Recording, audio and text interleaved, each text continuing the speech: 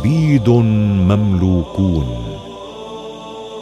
قال عيسى ابن مريم عليه السلام ويل لمن كانت الدنيا همه والخطايا عمله.